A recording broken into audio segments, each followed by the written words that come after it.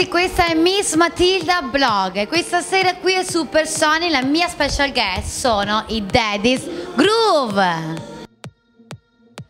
Eccoci, sono con i Daddy's Groove, Gianni Romano, Carlo Griego.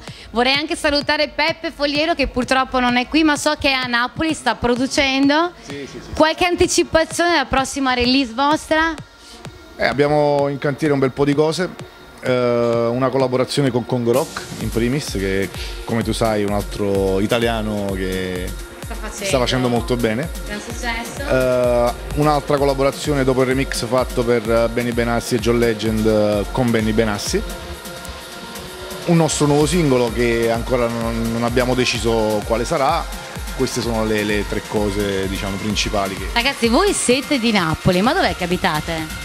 Proprio a Napoli, Napoli, Napoli Centro. E come nascono i Daddy's Groove?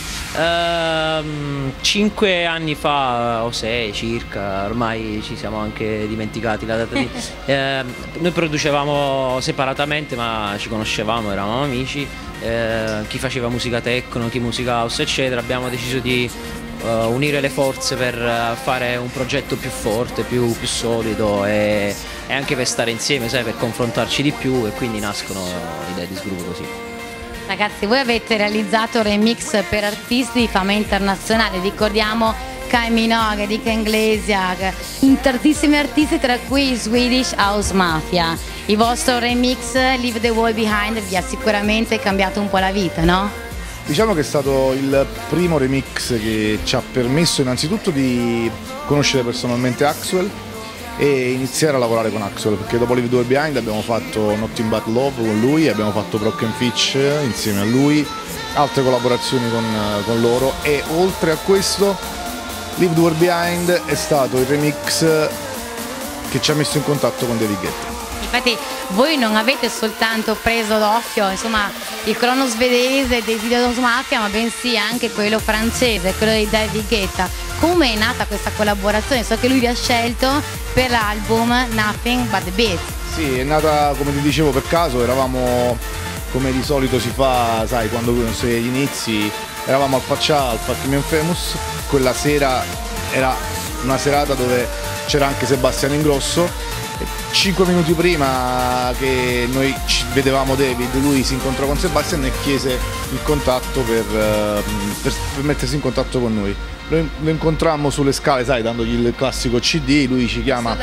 Sì, ci chiama praticamente in console e ci spiega che 5 minuti prima.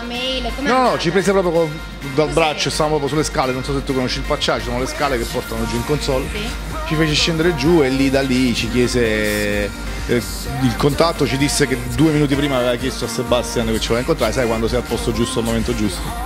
E quindi da lì poi è cominciata questa sorta di email, contatti eccetera, poi Carlo è andato a Miami e si è rincontrato con lui, abbiamo fatto il primo remix, no, il primo, sì, il primo remix per lui di- del disco di Florida e Nicki Minaj, se non sbaglio, e da lì poi abbiamo cominciato a lavorare su tutto l'album, abbiamo fatto nove, nove dischi nell'album di, di David.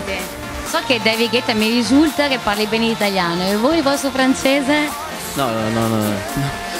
Abbiamo fatto il contrario, abbiamo insegnato eh, a lui a parlare italiano, anche un po' il napoletano. Ah, sì, E sì, sì, ci sono anche dei video in giro dove noi gli insegniamo il napoletano e lui l'ha imparato anche benissimo.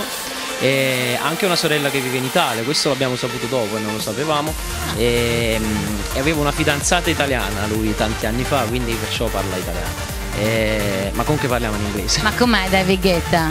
Una persona normale, una persona normale credo che sia questa la sua forza, una persona normalissima, una persona che ti mette proprio a tuo agio, che ci fa vivere. O- oggi sono passati ormai tre anni che lavoriamo con lui e veramente ci sentiamo una famiglia insieme a lui, Giorgio che è uno dei suoi produttori, Nicky Romero, lo stesso Project. È veramente sentirsi in famiglia con loro. Insomma, avete partecipato al nuovo album di David Guetta, avete poi suonato nei suoi party, ha fatto un rework del vostro pezzo. Insomma, i prossimi progetti futuri quali saranno?